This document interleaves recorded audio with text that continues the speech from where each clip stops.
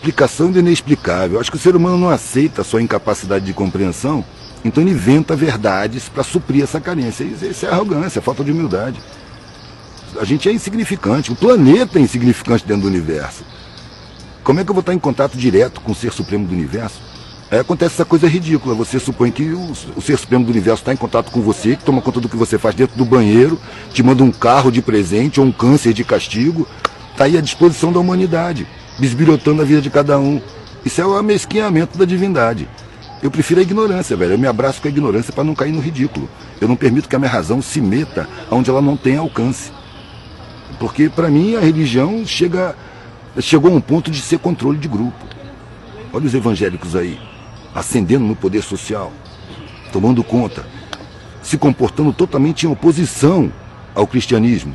Né? O protestantismo apareceu exatamente para legitimar o lucro. E aí Deus, ele premia você com riqueza material. Velho, você viver com riqueza material, você tem que viver se defendendo, você não confia em ninguém, você se cerca de falsidade, de interesse. Você não tem mais espontaneidade na vida. Você tem que ficar preocupado, é um mundo cheio de miséria, velho. Se você tem mais do que você precisa, você está em risco. Para começo de conversa, você está em risco. Em segundo lugar, você não tem mais sinceridade para você, porque todo mundo fica simpático, todo mundo fica legal, todo mundo está a seu serviço, todo mundo é leal, honesto, de boa vontade. E é um mundo falso. Gente não precisa disso tudo.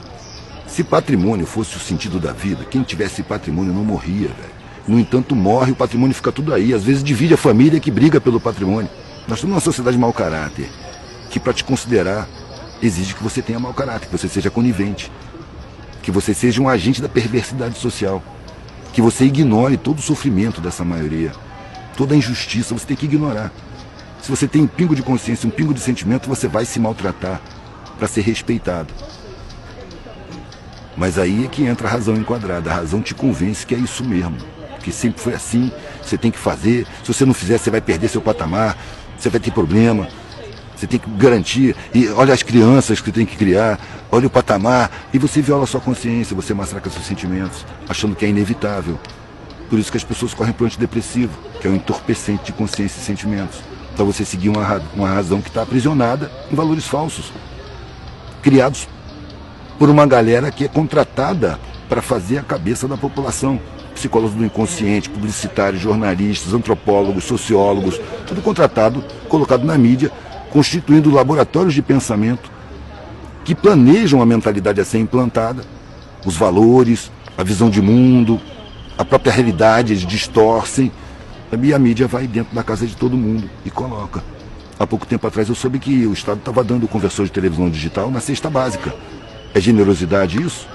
O Estado não garante os direitos constitucionais, não garante boa alimentação, não garante moradia, não garante porra nenhuma, mas dá o conversor de televisão digital. Isso é controle mental, é evidente que é controle mental. Precisa ter uma televisão na casa daquele miserável para que ele continue se sentindo incompetente. O cara não tem chão na casa dele, mas ele tem uma televisão ali funcionando. Isso é uma necessidade do sistema social. A televisão. É, é o que eu sempre digo, velho. Quando você liga a televisão, você acabou de abrir a porta para o inimigo. Ele vai lá dentro da sua cabeça para construir a sua visão de mundo, construir os seus desejos, seus objetivos de vida, suas opiniões, seu comportamento, seus valores. Só que tudo implantado, tudo artificial, tudo falso. Eu odiaria ser um privilegiado e se eu tivesse perdido a minha vida indo para um trabalho que eu detesto, convivendo com pessoas que eu não me identifico. Eu, eu gosto de estar solto, eu preciso estar solto. Acho que todo mundo precisaria estar solto mas o medo implantado pela cultura social, pela mídia, né, pela escola, o modelo de ensino que ninguém questiona, ele não é humanista, ele é empresarista. Ele prepara competidores para o mercado de trabalho, e não seres humanos para integrar uma sociedade harmônica. Aliás, qual é a escola que fala em harmonia social? Não tem. Você tem que vencer na vida. É o inferno, velho. Quando eu percebi que uma vitória gera várias derrotas, eu falei, a alegria da vitória não vale a pena. Eu não quero que minha alegria seja calcada em tristezas alheias. Então eu parei, não quero competir, eu quero viver. E é isso que eu estou fazendo, não estou querendo vencer. No final, você morre, velho. Vencendo ou perdendo, você morre. Porque ele tinha o direito de ascender socialmente, ele tinha o direito de acessar as escolas todas até a universidade. É direito constitucional. Mas o Estado não cumpre sua Constituição com a massa mais pobre. Então o Estado, para mim, é uma organização criminosa, velho. Que faz os mais capazes, os mais fortes, se sentirem os mais fracos e mais incapazes. E convence, ilude os que dispõem de, de, de grana e privilégio de que eles são fortes. E não são, eles são dependentes.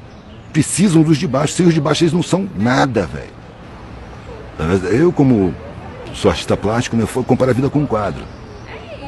Desde que você nasce, você pincela o quadro. E vai pincelando enquanto você está vivo.